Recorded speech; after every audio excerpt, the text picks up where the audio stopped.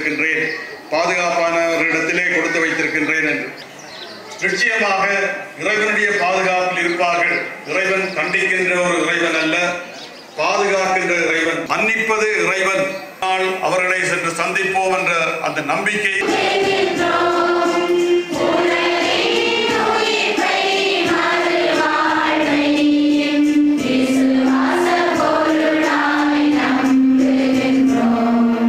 உற்சாக பயணம் செய்து நாங்க